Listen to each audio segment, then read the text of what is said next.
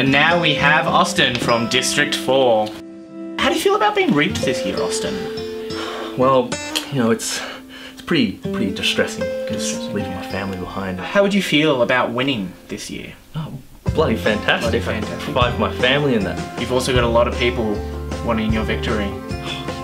Okay. I'm not gonna win. I'm sorry. I'm sorry at this point. Do you have any specific skills in any type of weapons? Uh, a fishing rod. A fishing rod. Good at reeling in fish. You got to reel in fish. That's about it. It's, uh, it's a bit weighty, Yeah, much much heavier than a fishing rod. So, like, I'll just sit by the pond, just reel them in. The other tributes, do you think they're going to come after you or leave you alone? I think they'll, they'll leave me alone just because they're like, ah, I can't do anything, just fish. Exactly. Maybe just come and buy fish with me.